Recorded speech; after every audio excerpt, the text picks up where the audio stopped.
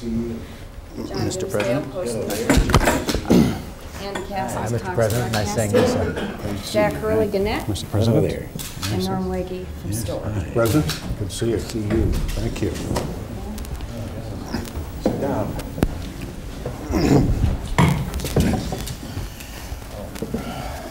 Get a little wired.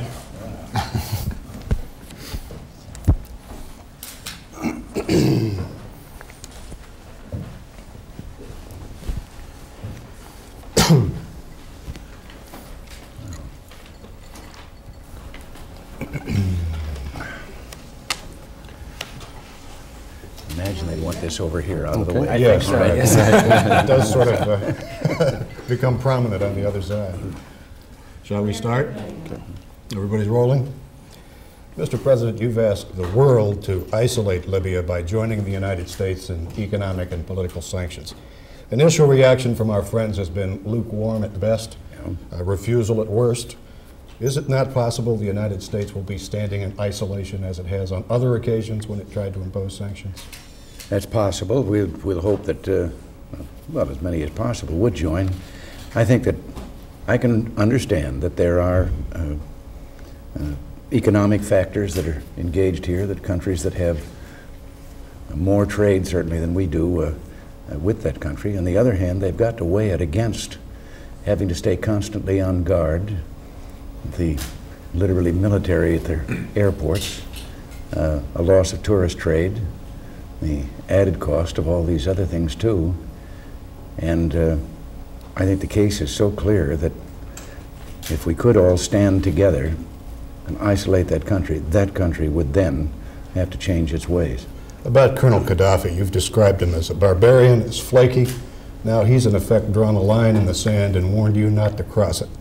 Is he likely to retaliate, maybe close those borders, keep in those 1,500 Americans that you've ordered home? No, I don't think there's any indication of that, and nor would we permit him to do such a thing.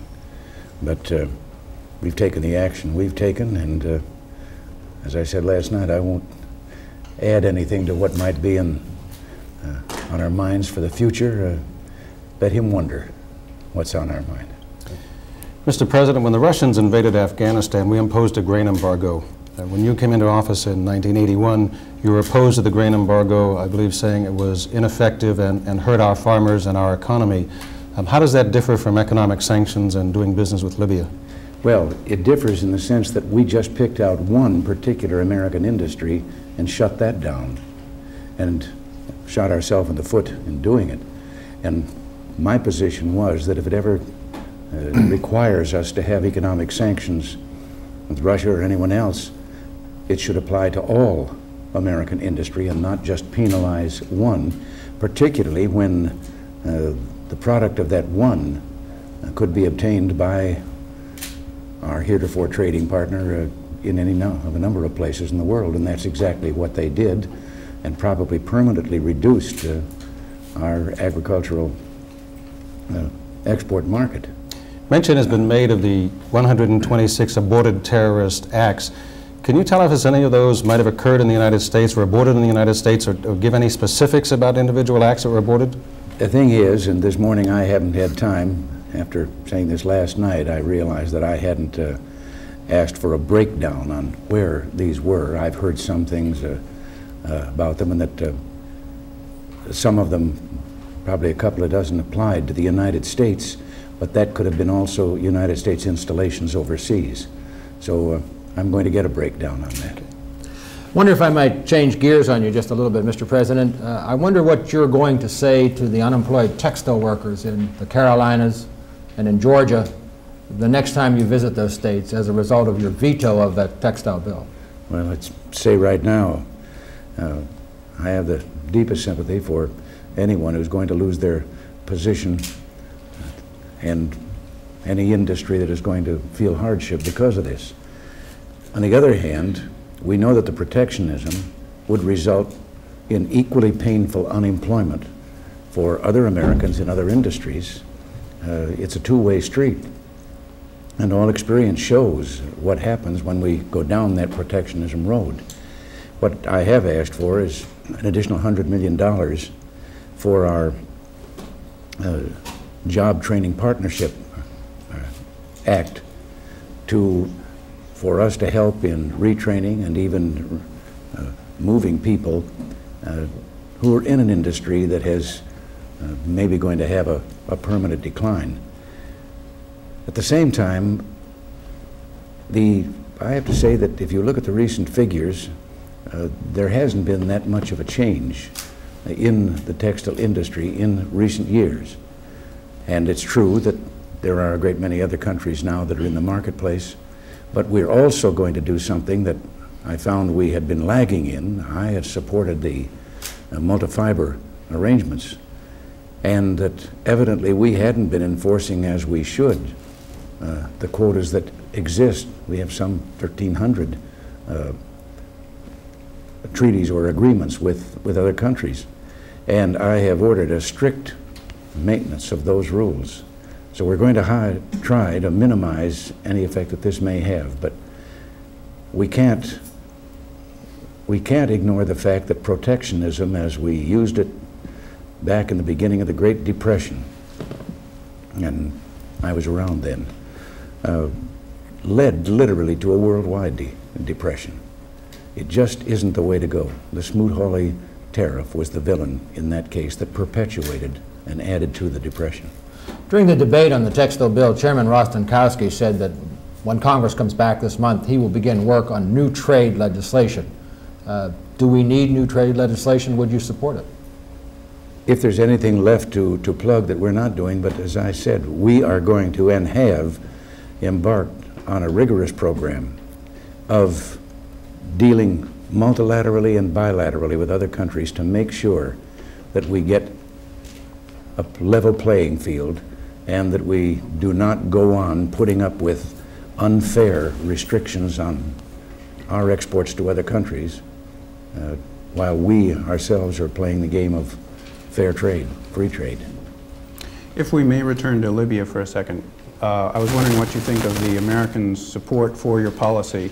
ABC News has a poll out this afternoon which indicates that 87% of Americans approve your economic sanctions, and a third would approve some sort of military action against Libya. Well, uh, I'm glad of the, the first figure. Well, and I'm glad that we have support if it ever becomes necessary to, uh, to do the other.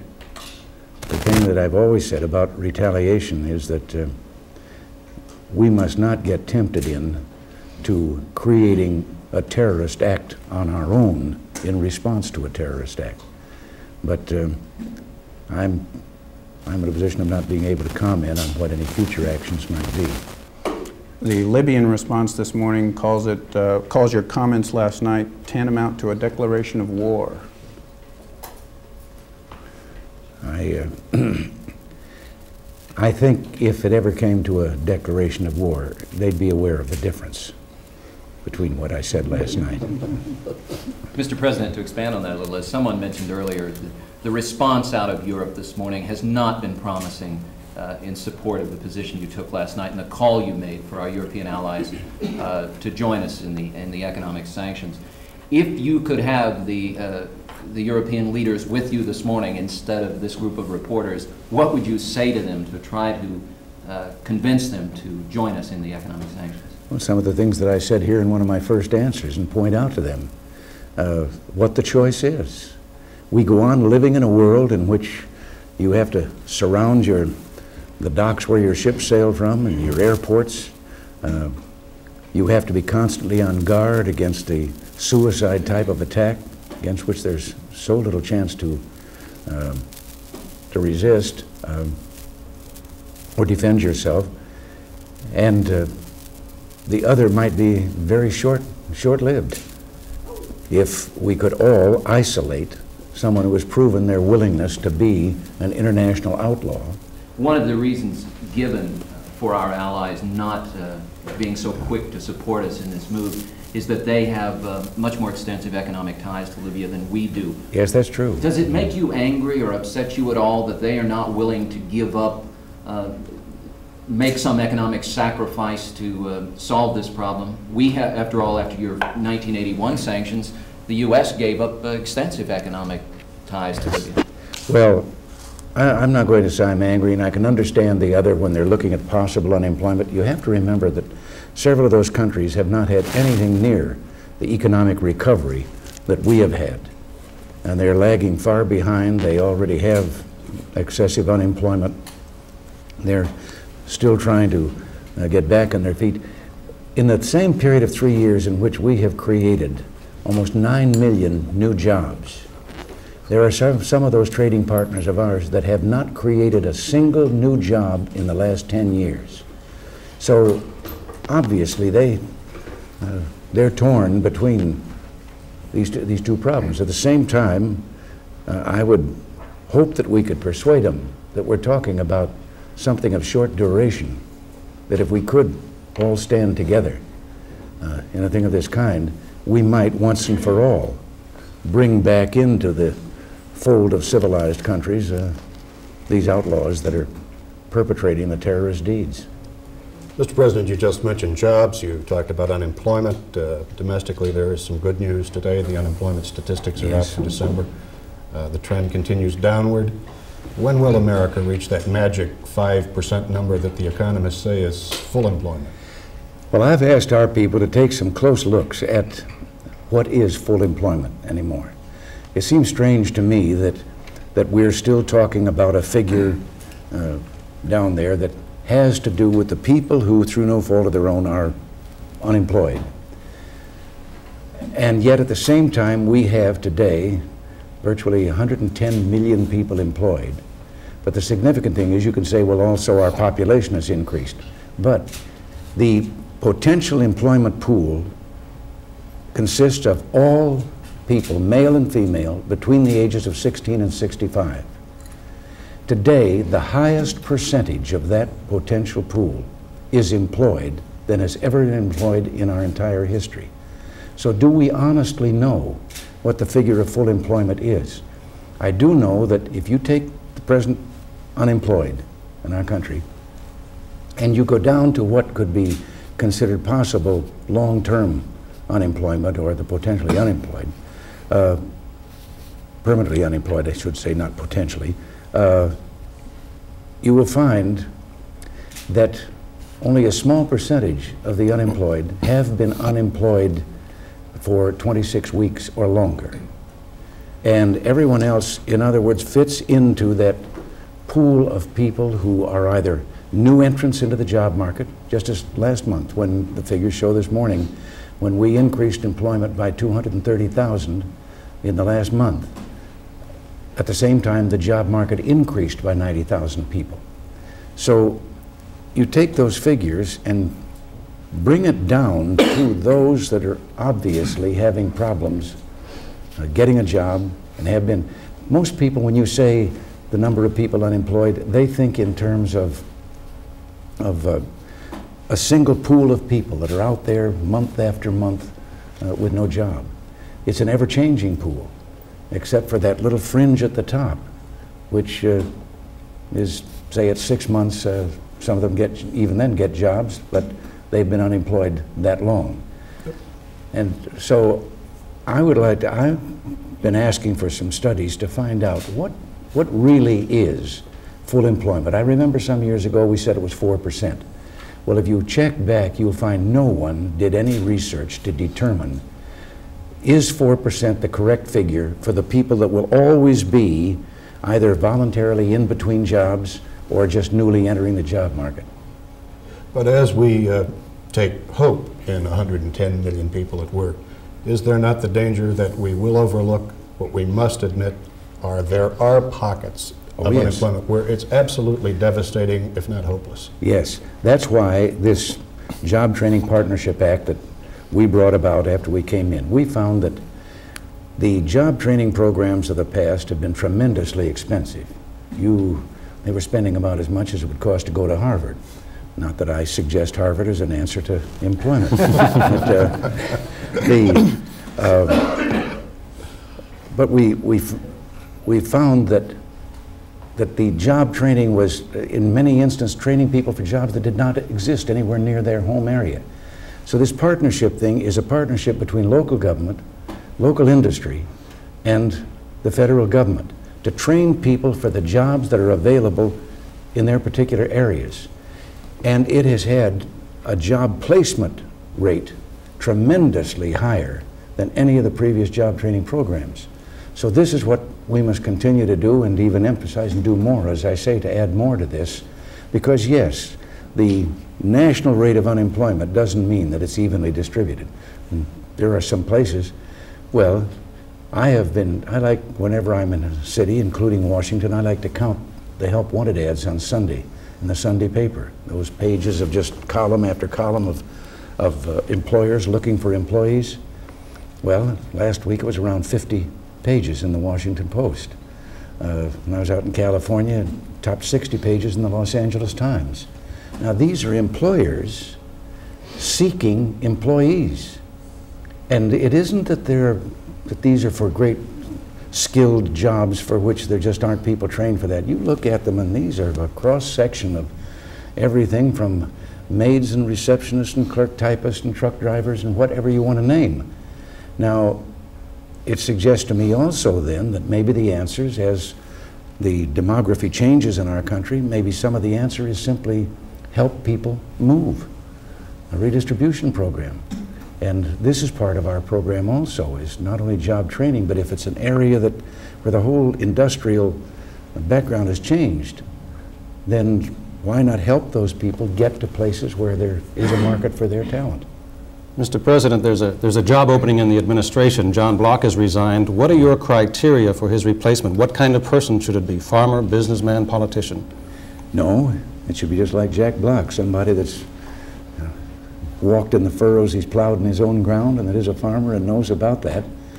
And uh, this is what we'll be looking for, someone with that kind of experience and firsthand knowledge of farm problems. Agriculture, defense, so many federal programs will be affected uh, when if Gramm Rudman takes effect. One of those that's estimated will be seriously affected is the drug interdiction program along our southern borders. Perhaps half their budget might go. How does that reconcile with, with the priority your administration has put on, on drug enforcement and interdiction? Well, if I read your, correct, your question correctly, I think what we're referring to here is the ultimate thing that if the Congress will not agree with proposed cuts, then the forced enforced cutting uh, that is prescribed 50% for defense, 50% for the other programs. I hope we never have to come to that. If the Congress will cooperate with us in making the cuts that have to be made where we have selection over them, we'll never have to resort to that sequestering of programs in which you just automatically go in with a meat axe approach and they're automatically cut. I never favored that part of the legislation at all. We have to have a willingness to cut. And if you look at the budgeting process, you know, I squirm a little when they keep calling it the president's budget. the president's budget consists of the estimate that the people who have to run the programs under the various cabinet departments and agencies, what they estimate it will cost them to carry out the programs that have been passed by the Congress of the United States. The president, under the Constitution, can't spend a nickel. It's all dictated. But it's always seemed strange to me in the budgeting process. They have announced they'll have a program to do something. All right. We turn it over to the people that are going to run that program. And then we sit down with them, long hours around a table like this, about what is it going to cost to achieve the purposes set out by the Congress in that program.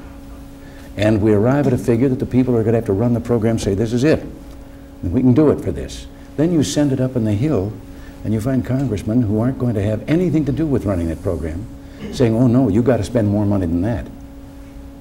And they pass more money uh, than we say is necessary for the programs.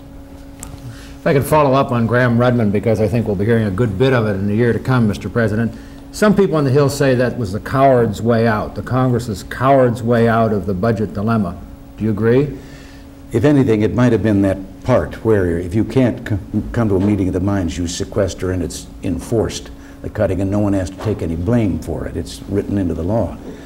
Uh, it wasn't a coward's way out. If you stop to think, the, the thing that appealed to me, as a matter of fact, by sheer coincidence, down here, in this end of town, I had brought in an idea that why don't we set up a several year plan for planned reductions of the deficit, leading to a point in the future that we can say, here, we'll, we will have balanced the budget, and then have an amendment, to the Constitution, that says we have to keep it balanced.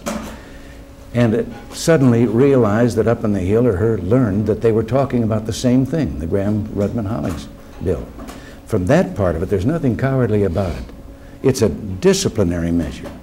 If instead of every year you have to fight over the single budget, whether you can get the cuts to whittle, start whittling at that deficit, you have a program that says, all right, we're all agreed that starting here with the deficits to there, we're going to reduce them annually at a rate that gets us to zero. Then the discipline that's exerted on all of us is that if any one of us, on our side or on their side, on the hill, wants or advocates increased spending over and above this five-year plan, why they are they're breaking ranks in a five-year program that has a definite goal. And I think that this is something that's been lacking for a long time. I just follow up on that briefly, in, in, in facing this discipline, as you say, is it realistic to continue to think that the Pentagon spending, the Pentagon's budget can continue where it is, uh, or increase? Well, the Congress itself, in the budget resolution, had passed uh, a resolution that called for in 1987 a 3% real growth, and they had agreed to that. I think that it is proper and that we should do it. I don't think there's any way that we can retreat from what is the first and prime responsibility of the federal government, which is the security of the United States. Five years ago, when I came here, half the airplanes in our Air Force and in our Naval Force couldn't get off the ground on any given day because of a lack of spare parts or fuel or lack of pilots. The same thing was true of naval ships that couldn't leave harbor. Well, today, we've got a working military, and of all the things I think I can be proud of, that is the thing I'm most proud of, is the young men and women in our country today in uniform. We haven't seen anything quite like it, certainly in peacetime and in my lifetime.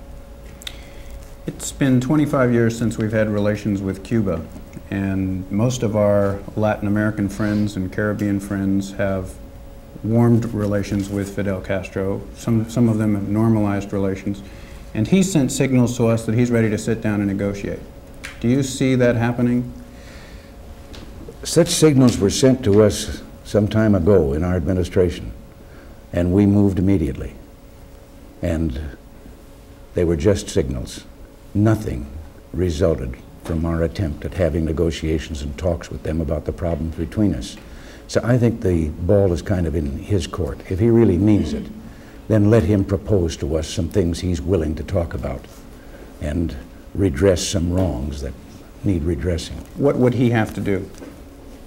Oh, I think there are a number of things. Uh, restoration of freedom to his own people, the uh, right of those uh, people who were driven from his country uh, to travel back and forth and visit their families and, and friends, uh, release of political prisoners. Now, we did get some exchange, small number of those, but uh, we also found out in the Mariel boat uh, uh, exodus to the United States of people that uh, he loaded us up with some not political prisoners, prisoners all right, with records as long as your arm in every kind of brutal crime you can name. And we've been shipping them back to him as fast as we can. Mr. President, could I just one?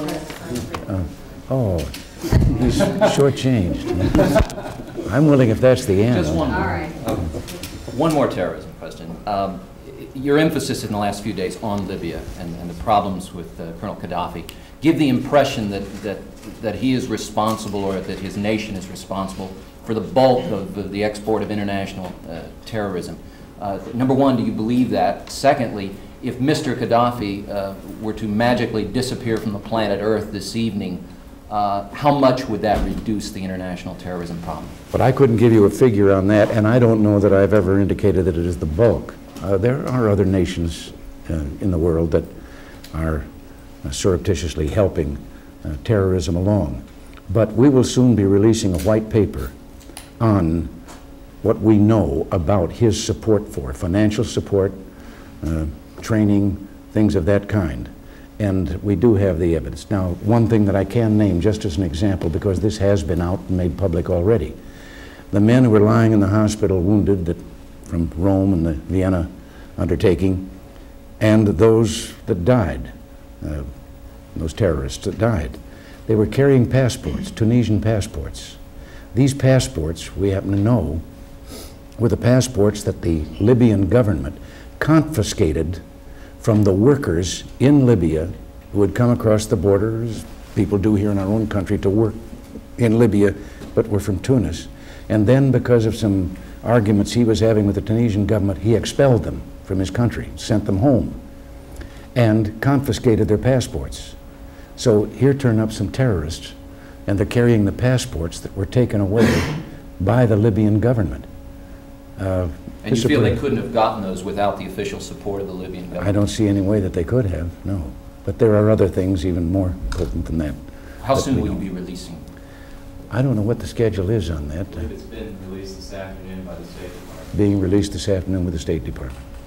Thank you, sir. Thank you, Mr. President. Thank all of you very much, appreciate it.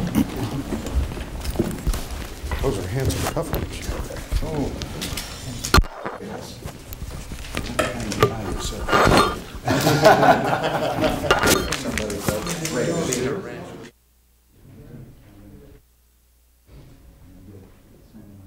a ranch that I might appreciate that. So you can see that it, and I, and I mentioned with cutout. This, I think, is a pretty, quite some job of handcraft there. This was sent to me by an individual. It says, "Out of an Indian pen." Trying to to read every little tiny number. So I thought that was kind of tough. Nice of you. Thank you. Thank you. Thank